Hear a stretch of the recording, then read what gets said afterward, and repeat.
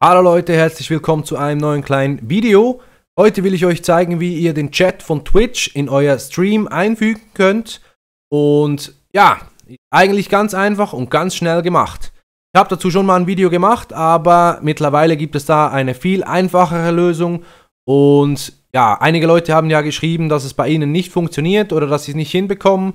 Und mit dieser Variante klappt es garantiert.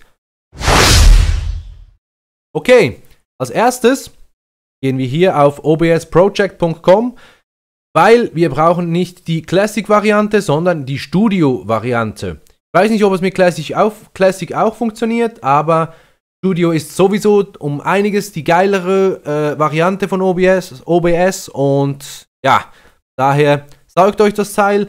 Wichtig ist, dass ihr nicht hier auf euer Betriebssystem klickt, sondern hier oben auf Download dann hier Windows oder was auch immer wählt und dann hier Studio.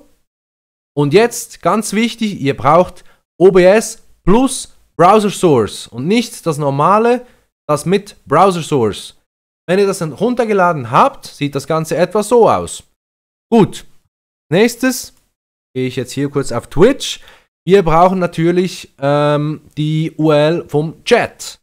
Die gibt es ganz einfach. Wir klicken hier aufs Zahnrad, dann auf Pop-out, dann öffnet sich ein neues Fenster mit dem Chat und wir haben die URL. Gut, als nächstes klicken wir hier in OBS auf Quellen, Rechtsklick hinzufügen und Browser Source.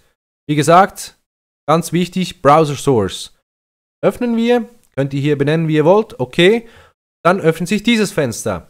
Jetzt ersetzen wir die URL, die hier drin steht, einfach mit der URL vom Chat. Paste. Hier könnten wir noch die äh, Größe, Breite und so anpassen und dann drücken wir auf OK. Brauchst einen Moment und zack, wir haben den Chat. Seht, wenn ich jetzt hier was schreibe. So. Seht, 1 zu 1. Funktioniert wunderbar, ganz einfach. Und dann könnt ihr ganz normal mit Filter oder was auch immer, könnt ihr es einfügen und verschieben und wie auch immer. Ganz einfach. Okay. Ich hoffe, ich konnte euch mit dem Video helfen. Wenn ja, gebt mir einen Daumen oder drückt auf Abonnieren. Ansonsten, wenn ihr Fragen habt, schreibt sie in die Kommentare. Ich bin Jay und ciao!